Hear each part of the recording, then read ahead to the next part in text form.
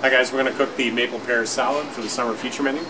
So we've got uh, an ounce and a half of spinach, we've got an ounce of our heritage blend, which will be nice and light, give it some height, two ounces of our creamy maple dressing,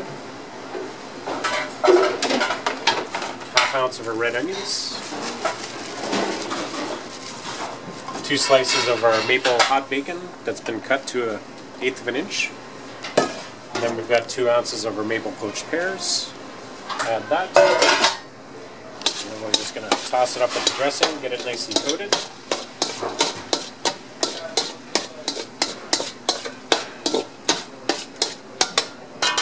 And we're going to plate it in the Asian bowl.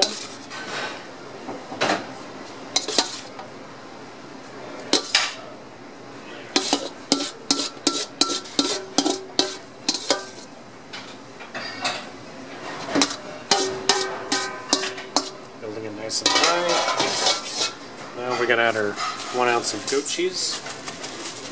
We'll crumble that up over top.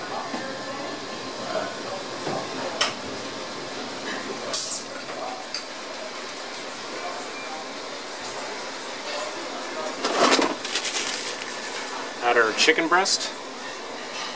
Cook to 165, off to one side. Top it with pine nuts and just wipe the rim clean. There's your maple and poached pear salad.